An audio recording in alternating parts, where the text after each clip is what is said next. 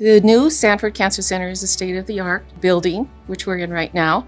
Very excited to have because it does bring all of the disciplines and the services under one roof.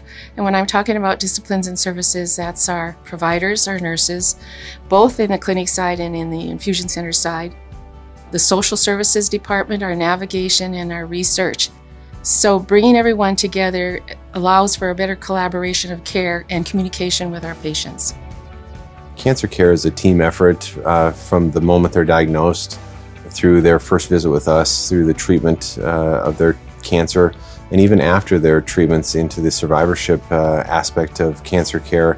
It takes a, a range of people, uh, all the way from you know the uh, nursing staff to the physicians to the the mental health professionals that help the, the patients and the genetic counselors that can help their patients. It's a team effort from start to finish. The vision ultimately is to bring a collaborative approach to cancer care. One of the things I'm most proud about with Sanford is that we are dedicated to rural health, rural health care. And we, uh, we've, we've really, in my mind, we've stepped up here because we're taking care of not only the city of Bismarck, but we're taking care of a whole entire region. That's big for someone who has to travel three to four hours to receive healthcare.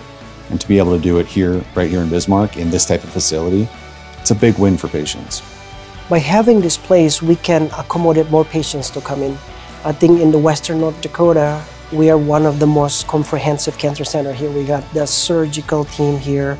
We got a radiation oncology team. We have great pathology team, interventional radiologists, and all of this here.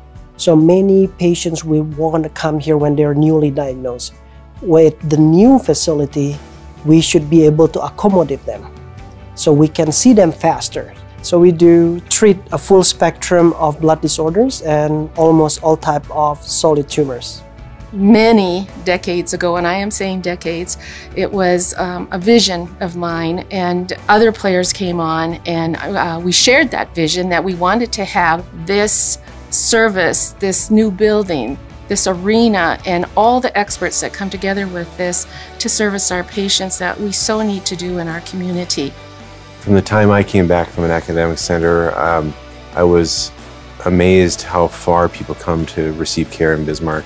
People come from all over the state to receive care here. I mean, again, it's just, it's exceptional to know we have this space to now take even better care of folks. So with this new state-of-the-art facility, we are proud to provide compassionate care. We strive to the science and we are very involved in clinical trials. We have great support staff and all that we need to treat cancer patients. We've always provided exceptional cancer care. Uh, this facility is warm and is welcoming, creates a collaborative environment for our nurses.